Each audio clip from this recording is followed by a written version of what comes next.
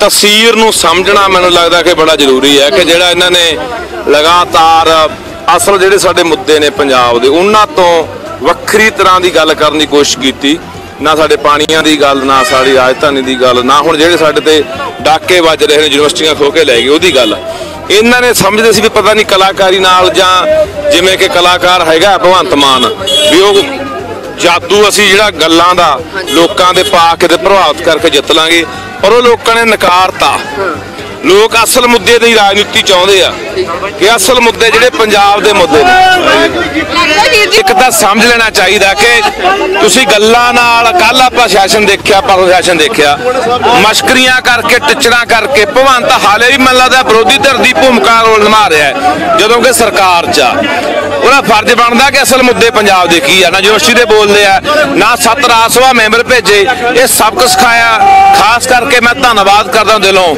ਸਰੂਰ ਦੇ ਲੋਕਾਂ ਦਾ ਕਿ ਉਹਨਾਂ ਨੇ ਆਪਣੀ ਰਵਾਇਤ ਨੂੰ ਕਾਇਮ ਰੱਖਦੇ ਹੋਏ ਤੋੜ ਲਓ ਭਾਈ ਗੱਡੀ ਤੋੜ ਲਓ सीम एक मिनट यार एक मिनट चीफ मिनिस्टर का गढ़ था ये चीफ मिनिस्टर जो बने हैं उनको आपने हराया है तकरीबन तो क्या कहेंगे आप आम आदमी पार्टी जो तीन महीने पहले आई थी ਨਹੀਂ ਜੀ ਸਾਡੀ ਪਾਰਟੀ ਦੇ ਵਰਕਰਾਂ ਨੇ ਤੇ ਜਿਹੜੀ ਸੇਧ ਸਾਨੂੰ ਸੰਤ ਜਰਨੈਲ ਸਿੰਘ ਭਿੰਡਰਾਂ ਵਾਲਿਆਂ ਨੇ ਦਿੱਤੀ ਹੈ ਆਪਣਾ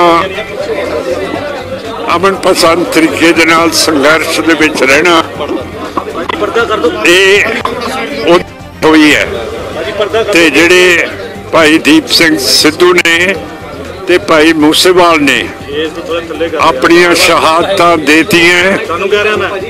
ਉਹਦੇ ਨਾਲ ਸਿੱਖ ਕੌਮ ਨੂੰ ਬਹੁਤ ਜ਼ਿਆਦਾ ਦੁਨੀਆ ਦੇ ਵਿੱਚ ਫਾਇਦਾ ਹੋ ਗਿਆ ਹੈ। ਤੇ ਹੁਣ ਸਿੱਖ ਕੌਮ ਦੇ ਨਾਲ ਇੰਡੀਆ ਦੀ ਹਕੂਮਤ ਇਸ ਤਰ੍ਹਾਂ ਨਹੀਂ ਕਰ ਸਕਦੀ ਜਿਵੇਂ ਮੁਸਲਮਾਨਾਂ ਦੀਆਂ ਬਸਤੀਆਂ ਢਾਈ ਜਾਂਦੇ ਹੈ ਕਸ਼ਮੀਰ ਦੇ ਵਿੱਚ ਜ਼ੁਲਮ ਕਰੀ ਜਾਂਦੇ ਹੈ 7-8 ਕਸ਼ਮੀਰੀ ਫੌਜ ਮਾਰ ਦਿੰਦੀ ਹੈ ਕੋਈ ਇਨਕੁਆਇਰੀ ਨਹੀਂ ਹੁੰਦੀ। ਤੇ ਜਿਹੜੇ ਆਪਣੇ ਛੱਤੀਸਗੜ੍ਹ ਦੇ ਵਿੱਚ ਤੇ ਬਿਹਾਰ ਦੇ ਵਿੱਚ ਝਾਰਖੰਡ ਚ ਹੈ ਜਿਹੜੇ ਕਬੀਲੇ ਲੋਕ ਹੈ, ਆਦਿਵਾਸੀ, ਉਹਨਾਂ ਨੂੰ ਮਾਓਵਾਦੀ ਕਹਿ ਕੇ ਤੇ ਨਕਸਲਾਈਟ ਕਹਿ ਕੇ ਹਕੂਮਤ ਸਿੱਧੀ ਗੋਲੀ ਮਾਰਦੀ ਹੈ। ਹੁਣ ਜੇ ਜਿਹੜੇ ਬੀਬੀ ਜੀ ਕਬੀਲਿਆਂ ਦੇ ਵਿੱਚੋਂ ਪ੍ਰੈਜ਼ੀਡੈਂਟ ਦੇ ਲਈ ਖੜੇ ਹੈ, ਉਹਨਾਂ ਨੂੰ ਮੈਂ ਜ਼ਰੂਰ ਮਿਲੂੰਗਾ ਕਿ ਇਹ ਕਬੀਲਿਆਂ ਦੀ ਜਿਹੜੀ ਮੌਤ ਤੁਹਾਡੀ ਸਰਕਾਰ ਜਾਣਬੁੱਝ ਕੇ ਲੈ ਕੇ ਆ ਰਹੀ ਹੈ ਇਹ ਖਤਮ ਕਰੋ ਤੇ ਇਹਨਾਂ ਦੇ ਨਾਲ ਗੱਲਬਾਤ ਸ਼ੁਰੂ ਕਰੋ ਕਿ ਇਹਨਾਂ ਦੀ ਦੁੱਖ ਤਕਲੀਫ ਸਾਰੀ ਖਤਮ ਹੋ ਜਾਏ सर मान साहब पार्लियामेंट में क्या मुद्दा उठाएंगे आप पहला मुद्दा और कौन सा मुद्दा उठाएंगे आपकी प्रायोरिटी क्या होगी ਉਹ ਤਾਂ ਦੇਖਾਂਗੇ ਉੱਥੇ ਜਾ ਕੇ ਕਾਹਦੇ ਤੇ ਰਵੇ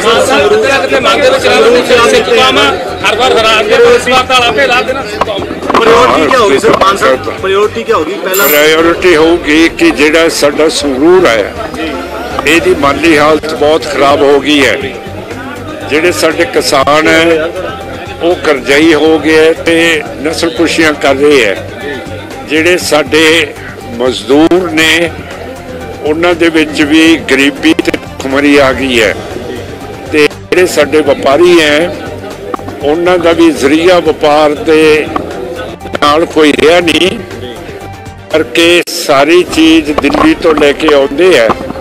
ਪਰ ਆਪਾਂ ਕੋਸ਼ਿਸ਼ ਕਰਾਂਗੇ ਕਿ ਪਾਕਿਸਤਾਨ ਦਾ ਜਿਹੜਾ ਬਾਰਡਰ ਵਾਗੇ ਦੇ ਵਿੱਚ ਹੈ, ਉਸ ਨੂੰ ਖਲਾਈਏ, ਕਿਉਂਕਿ ਪਾਕਿਸਤਾਨ ਦੇ ਵਿੱਚ ਕਣਕ ਦੀ ਕਮੀ ਹੈ ਤੇ ਆਪਣੇ ਕੋਲੇ ਭੰਡਾਰ ਬਹੁਤ ਜ਼ਿਆਦਾ ਹੈ ਤੇ ਸਾਡੇ ਕਿਸਾਨ ਤੇ ਟਰਾਂਸਪੋਰਟਰ ਤੇ ਵਪਾਰੀ ਆਪਣੀਆਂ ਜਿੰਸਾਂ ਸਾਰੇ ਪਾਸੇ ਵੇਚਣ।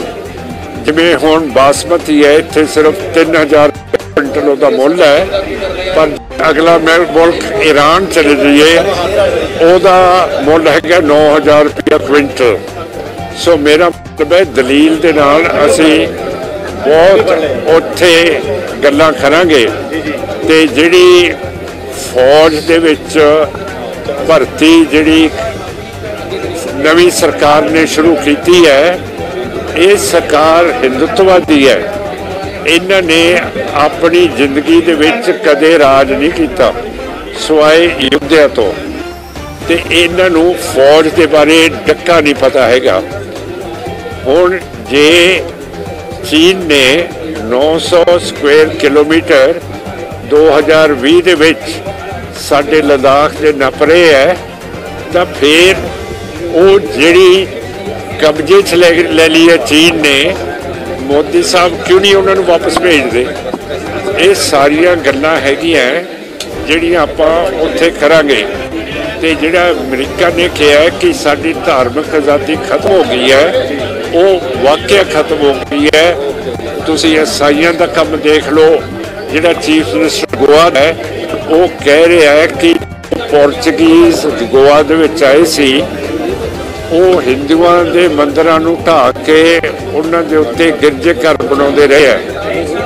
ਤਾਂ ਜਿਹੜਾ ਜਬਰਨ 1992 ਦੇ ਵਿੱਚ ਬਬਰੀ ਮਸਜਿਦ ਢਾਤੀ ਹੈ ਤੇ ਸੁਪਰੀਮ ਕੋਰਟ ਨੇ ਹਿੰਦੂਤਵਾ ਦੇ ਹੱਕ ਦੇ ਵਿੱਚ ਬਿਆਨ ਦਿੱਤਾ ਇਹ ਸਾਰੀਆਂ ਚੀਜ਼ਾਂ ਦੱਸਦੀ ਹੈ ਕਿ ਇੱਥੇ ਜ਼ਿੰਦਗੀ ਘੱਟ ਗਿਣਤੀਆਂ ਦੀ ਸੁਰੱਖਿਅਤ ਨਹੀਂ ਹੈ सर संगरूर ਲਈ ਕੋਈ ਮੁੱਦਾ ਉਠਾਓਗੇ ਜਰਾ आपको लगता है कि जो पार्लियामेंट में जरूरी है ये ਸੰਗਰੂਰ ਦੇ ਲਈ ਉੱਥੇ ਜਾ ਕੇ ਸਾਰਾ ਕੁਝ ਕਰਾਂਗੇ ਪੰਜਾਬ ਦੀ ਸਰਕਾਰ ਨਾਲ ਵੀ ਮਿਲ ਕੇ ਗੱਲ ਹੋਊਗੀ ਇੱਥੋਂ ਦੇ ਡੀਸੀਆਂ ਨਾਲ ਮੇਰੇ ਕੋਲ ਇੱਥੇ